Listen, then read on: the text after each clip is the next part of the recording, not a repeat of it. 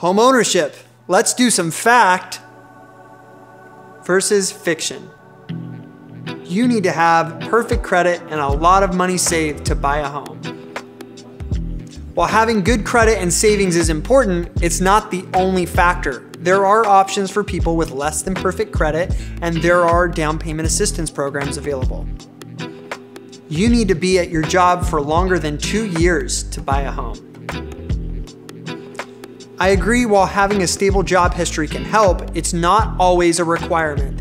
Lenders will look at your overall financial picture, including your income and your debts, to determine your eligibility for a home loan. Renting is always cheaper than owning a home. This depends on your individual circumstances, such as the cost of rent in your area and the cost of homes. In some cases, owning a home can be more affordable in the long run, especially if you plan to stay in the home for several years. Owning a home is a lot of work and upkeep. While there is some work involved in maintaining a home for sure, it's not always as much as people think. There are also benefits to owning a home, such as building equity and having the freedom to make changes and improvements to your property.